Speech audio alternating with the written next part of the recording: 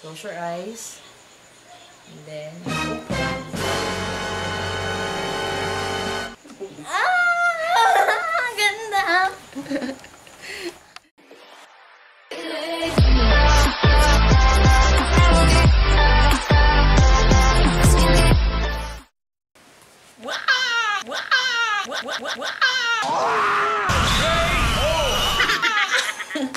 Hi guys! Hi! So, today is Saturday.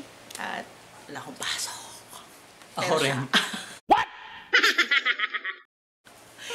So, dahil Burr months na, actually, lagi namin itong, yearly pala, la- yearly namin itong ginagawa. Na September 1st pa lang, ay nagpe-prepare na kami sa bahay nag-aayos. Yes. Pero dahil nung mga nakaraang mga araw, ay naging busy kami sa maraming bagay. So ngayon lang kami nagkaroon ng time to decorate our house and ilagay yung pinaka-favorite ko sa lahat. Yung Christmas tree!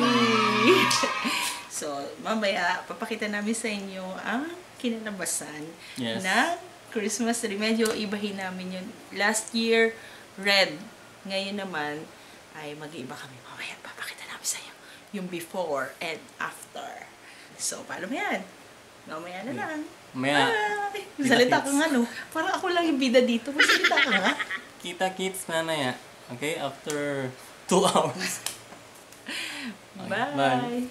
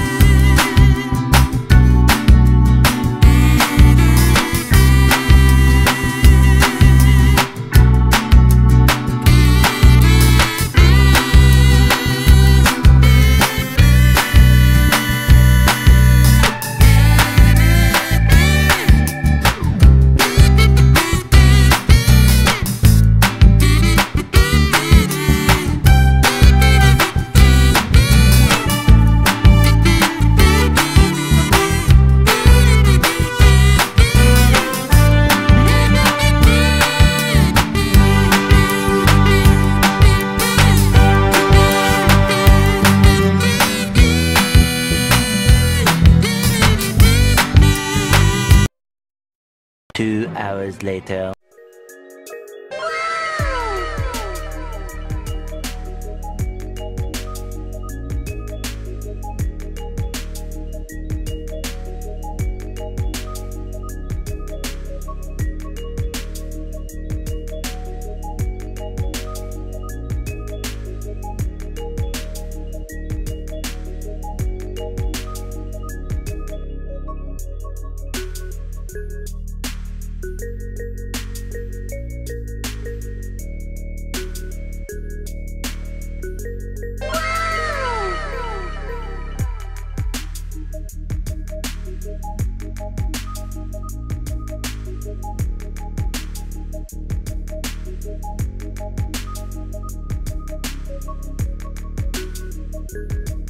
Wait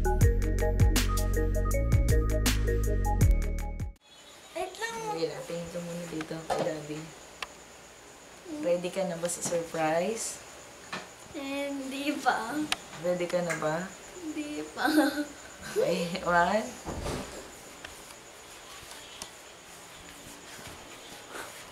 Two. Three. Close your eyes. And then open. Ah! Ganda. Ganda ba? Ang ganda ba? Punta ka dyan. Yakapin mo. Yakapin mo.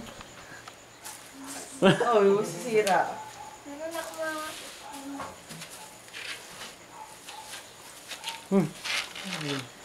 Uy, oh, umalis ka dyan. Oh, di ba ibang kulay ngayon, no? Ayos ba? Paano yung star sa taas nag-iba? Hindi, yan pa rin. Dapat iba. Puti. Dapat. Pinagpahinga muna natin yung mga red na flowers. Tsaka yung, ano, red na garland. Okay ba? Nasaan yung pindutan? Nandiyan sa loob. Ang tunay na diwa ng Pasko ay hindi lamang sa mga regalo at material na bagay, kundi ang pag-alala sa pag-ibig ng Diyos sa ating at pagbigay ng oras at panahon sa ating mahal sa buhay. Merry Christmas po! Bye!